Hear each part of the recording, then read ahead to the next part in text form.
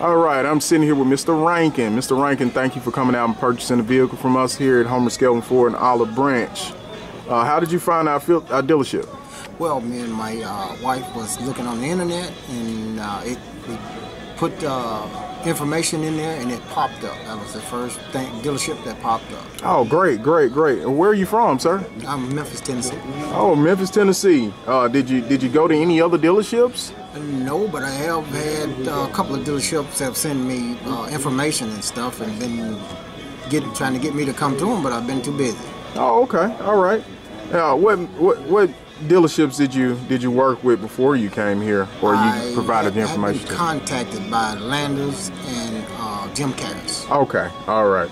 Now, uh, how was your your overall sales experience here? Oh, very good, very good. Good. Uh, sales, salesman was very informative and courteous about what he was doing. Good. And, wh- and what salesperson was that?